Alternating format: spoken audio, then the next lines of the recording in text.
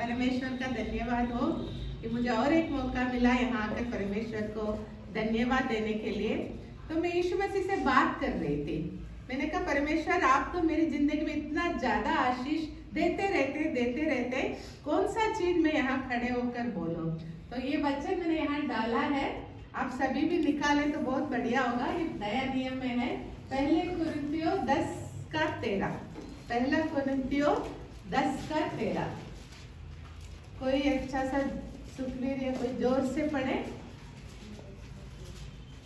तुम किसी ऐसी परीक्षा में नहीं पढ़े। तुम किसी ऐसी सभी बोलेंगे तुम किसी ऐसी परीक्षा में नहीं पड़े जो मनुष्य के सहने से बाहर है जो मनुष्य के सहने से बाहर है परमेश्वर सच्चा है परमेश्वर सच्चा है और वह तुम्हें सामर्थ से वह वेद सामर्थ्य से बाहर परीक्षा में पढ़ने न देगा बाहर परीक्षा में पढ़ने न देगा वरन परीक्षा के साथ वरन परीक्षा के साथ निकास भी करेगा भी करेगा तुम कि तुम सह सको। कि तुम सह सको। अगर आपको इसका अच्छा से समझना है ये बात है कि हमारी रोज की ज़िंदगी में परेशानी आती है। हाँ बोलने वाले अलेलिया बोलो। ये सच है। आप सुबह उठते ही बल्ब फ्यूज हो जाएगी। अरे बल्ब फ्यूज हो गया।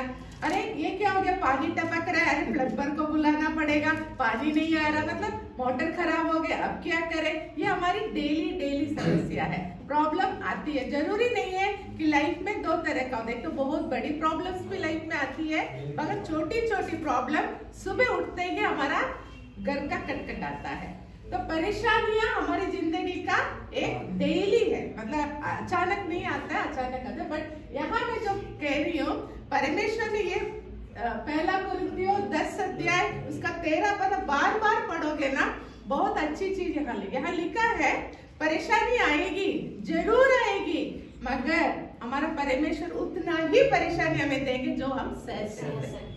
उससे ज़्यादा परेशानी किसी भी हालत में आपकी लाइफ में नहीं आएगी। आप मैं ये यकीन के साथ कहूँगी क्योंकि परेशानी मेरी ज़िंदगी में भी बहुत सारा आता है बट मैंने एक चीज़ देखा है जब भी परेशानी आई परमेश्वर मेरे साथ खड़े होकर उसका सोल्यूशन को हिंदी में निकास निकास विकास को समाधान, समाधान हाँ समाधान। समाधान भी साथ में लेकर आते हैं। तो ये सच में एक एग्ज़ाम्पल के द्वारा बोलूँगी नहीं तो आपको लगेगा मैं ऐसे ही बोल रही हूँ। अभी कल परसों की बात है मुझे आशियाना होम फॉर गर्ल से कॉल आया। मैडम ये वाला सामान खत्म हो गया। अब सामान खत्म होने गया तो क्या है? खरीदना पड़ेगा। अब खरीदने के लिए क्या चाहिए? पैसा। चाहिए। और जो हमारे पास अभी ज़्यादा है नहीं। अब मैंने कहा अब क्या करूँ? ये तो हर महीने ये खर्चा आएगा। पैसा तो है नहीं। देखो परेशानी आई।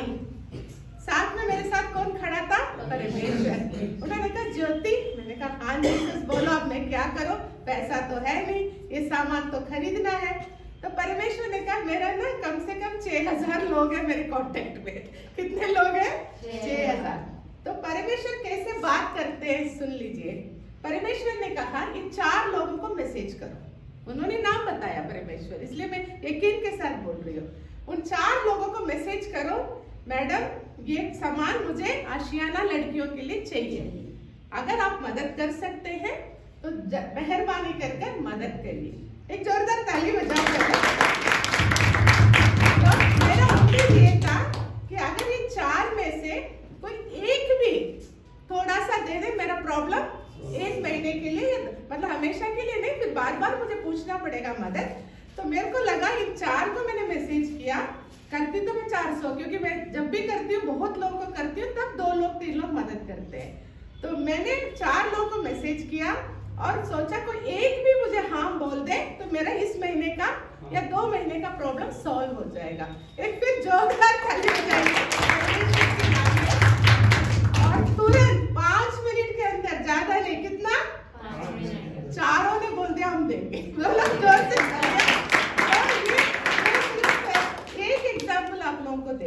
हमारे जो परमेश्वर है परेशानी आती है अच्छा तब मैं आज क्या बोलूँगी? अच्छा हुआ परेशानी आई। अच्छा हुआ लाइफ में ऐसे अपनी परेशानियों को देखना शुरू करो।